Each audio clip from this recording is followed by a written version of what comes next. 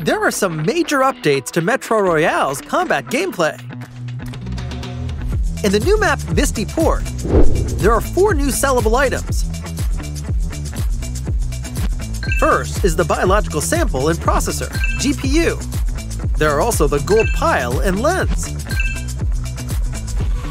Furthermore, levels 4, 5, and 6 advanced vests have also been improved. They now give protection from explosive damage by reducing damage taken from explosions.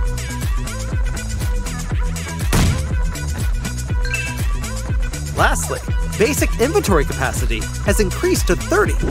Bring more equipment into battle than ever before.